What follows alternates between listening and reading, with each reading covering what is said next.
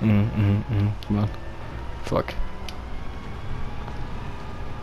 Pork fried rice.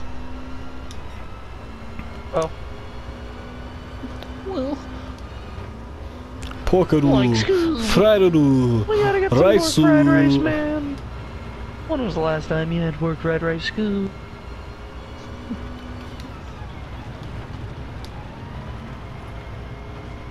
I don't like being sick, guys. Thick. Tina, eat the food. Dude, you fat lord. food.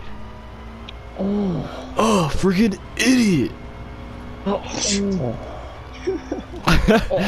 Oh. That movie, uh, nah. Yeah, Napoleon Dynamite's fucking hilarious. Hey Napoleon, what are you doing today? What do I fucking feel like doing? No, I didn't say. Dude, you said that would be hysterical.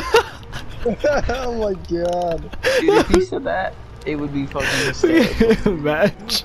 Dude, Feel if, dude, if, That if would it was be- R-rated, it would be That would be so different. Oh, that'd be so fucking. That would be so great. Doing- Dude, if Napoleon Dynamite was R-rated, I would fucking love it. That's funny. That's fucking funny. Yeah, that just came out like so natural when I was trying to say. It sounded so funny because it literally just like slid out of your mouth. that was fucking funny, man.